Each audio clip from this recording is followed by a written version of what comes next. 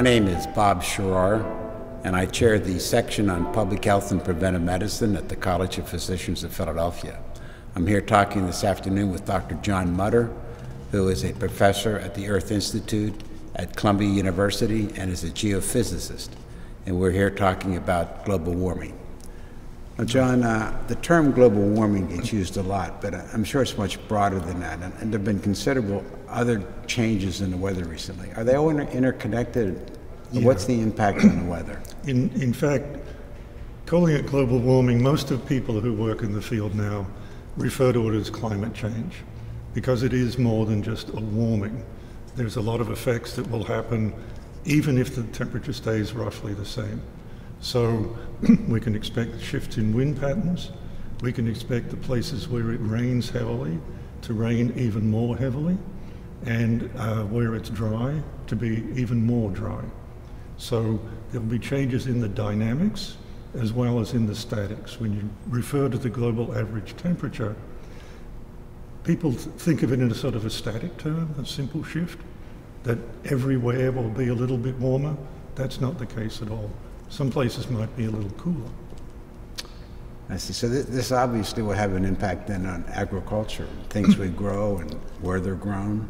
Yes. So, in fact, it has a variable effect, and you have to start thinking, well, what if it got one degree warmer, two degrees, three degrees? What will happen? One relatively simple way to think of it is to say, well, the tropics will expand. That part of the Earth that's in the tropics will now be bigger. The temperate zones will move poleward to the north and south, and the polar regions will sort of get squeezed.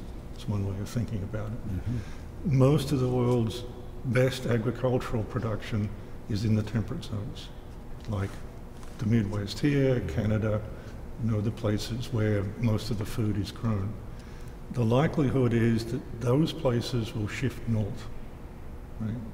So if you look at calculations done on the early stages of um, getting a little warmer, you'll see that the Canadian crop models would suggest that they will benefit from it. Mm -hmm. But in sub-Saharan Africa, where agriculture is already marginal, it'll get worse. So, so basically it means then that the parts of the world that now have food shortages may continue to have even more severe food shortages. That's correct. Well, you know, part of the problem, John, is that in modern technology, we need energy. Mm -hmm. We mm-hmm. need electricity to mm -hmm. operate. Yes. So, what are our power sources then? Uh, what, what can we do to try to prevent global warming from getting any worse? So, let's say we decided tomorrow to remove all fossil fuel sources. You can then ask, what are the alternates that could possibly replace what we've got? So think of a big coal-fired power plant and say, I'm going to shut that down, but I need to replace the power it's producing with something else. What's plausible? Well, energy from the sun far exceeds the energy that we use. It's about a thousand times more than we need or could ever possibly need. The problem is converting the energy from the sun to electrons, basically, and conversion efficiency isn't very good right now. The other one is nuclear, and nuclear power is capable of solving the energy problem. It deeply resisted because of the concerns about it, uh, but that's, that's possible. the other one, and you'd have to think about, is it possible to use fossil fuels in a clean way? So we cleaned up emissions from automobiles, we've cleaned up emissions from all sorts of things, why can't we clean up emissions from power plants and automobiles? And there's a number of different ways to do it. There's also technologies that allow for us to pull carbon dioxide out of the atmosphere. But the sources that will give us enough energy to develop, to stay developed, are nuclear, solar, and fossil.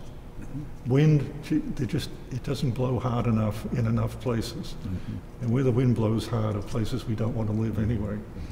You were talking about uh, places where it rains, it may rain even more. Mm -hmm. uh, what about hurricanes and tornadoes and things like that?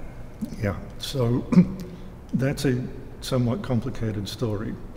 You've got to think about two distinct things. So let's think about the Atlantic right now, Atlantic hurricanes, where we call them hurricanes, we call them typhoons in the Pacific. So there's two things. There's how many hurricanes will we have every hurricane season? Let's say we have 10 now. Will there be 10 in the future, or 12 or 13? Whether there'll be more depends on where hurricanes come from. And they mostly come from the eastern side of the Atlantic, right off the coast of Africa. So if we're going to get more hurricanes, conditions would have to change there. The strength of a hurricane depends on the waters and the atmospheric conditions between where it forms and where it makes landfall. Right? Okay. So let's say, and what most people think for the Atlantic is if there's 10 hurricanes per season now, there will probably still be 10, maybe 11, but not 15. But more of those 10 will be strong. So if right now two out of the 10 are big guys, in the future four out of 10 will be the big guys. I see. But there won't probably won't be more than 10. Mm-hmm. And that's where people get a little bit mixed up about this. Yes. The, the fact is there will be more intense hurricanes, but probably not more hurricanes. Now, John, I also have been told that, you know, uh, global warming occurs periodically, and it's occurred periodically throughout history. Yes. Can you explain that to us? So, in the distant past, millions of years ago, we're pretty much governed by what we call orbital parameters, which means the shape of the Earth's orbit around the Sun, which is close to circular, but it's a little bit elliptical. Um, but it changes its ellipticity. It goes from being almost circular to being drawn out, to being circular and drawn out. And the period of those changes is about 100,000 years. Mm-hmm.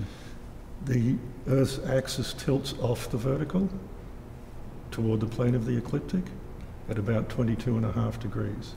That too has changed in the past. It oscillates backwards and forwards. And the direction at which the spin axis points also goes around like a spinning top, mm-hmm. each at a different periodicity. And those change the angle at which the sun's rays hit the Earth and therefore changes the overall climate. So we have seasons because the Earth is tilted over. If it was tilted more, we would have stronger seasonality. If it was completely up straight, it'd be fall all the time. So it depends on those shapes, and they change very slowly. The last time it was as warm as it is now was about 100,000 years ago, and before that, about 200,000 years ago. And we can trace that back for almost a million years. So the theory of um, so-called Milankovitch cycles, a guy named Milankovitch, who was a Serbian astronomer, proposed that this was the cause of the uh, long-term climate fluctuations. So, so 100,000 years ago, if we had global warming, then obviously it corrected itself. Yeah. I guess the question is, is there any possibility that the global warming we're seeing now may correct itself eventually? N- no. Um, the argument is that there's already too much carbon dioxide in the atmosphere that it's going to fight the orbital forcing effects. It may. It's, it's hard to say. I see. So, um, when we think of global warming too, we think of the economic impact for uh, developing countries, but also for you know the United States. I've heard reports of the Atlantic Ocean may come up to the you know Philadelphia. so, what what what what impact will it have on our coastal regions? Yeah, well, we think sea level will rise. Uh, that's very simple. You know, ice will melt, go into the oceans, sea level will rise. The calculation is fairly straightforward. What will happen to our crops is less certain, and it's more governed by heat waves than the average temperature. So you only have to have a few days of extreme heat, and that will very significantly harm corn production. Mm-hmm. Even if the average temperature hasn't changed, If you get more bouts of extreme heat, that will ruin crops.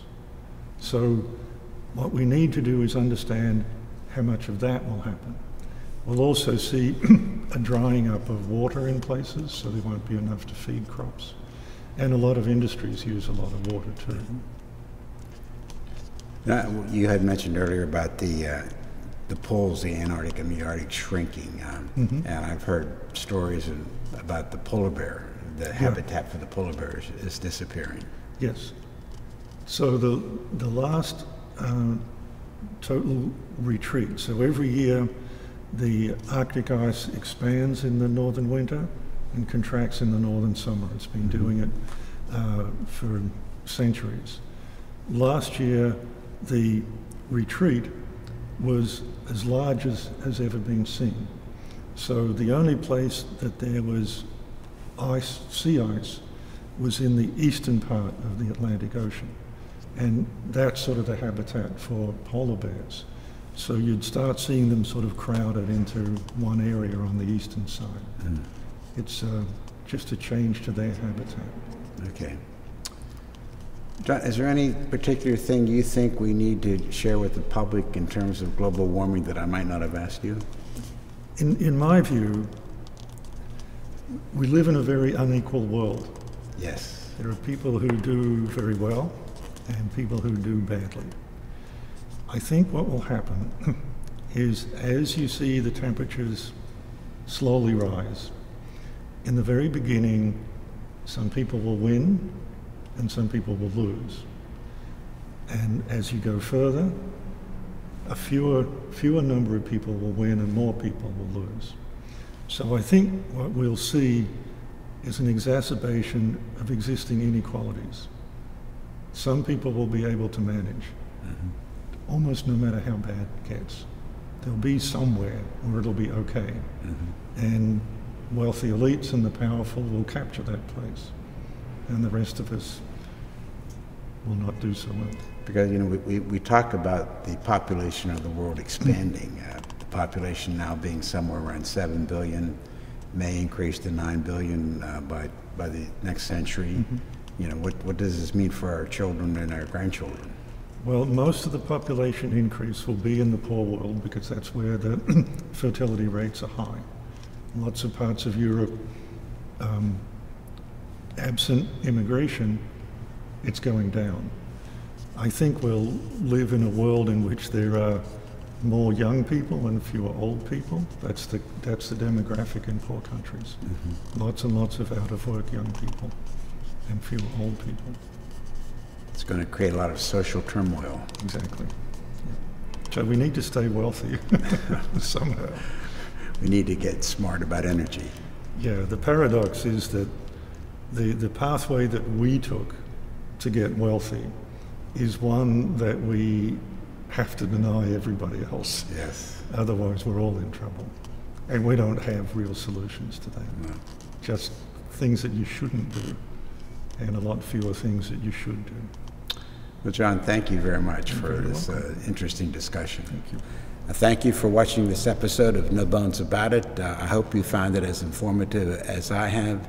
This is certainly a very interesting topic that affects us all and will affect our grandchildren as well. Thank you.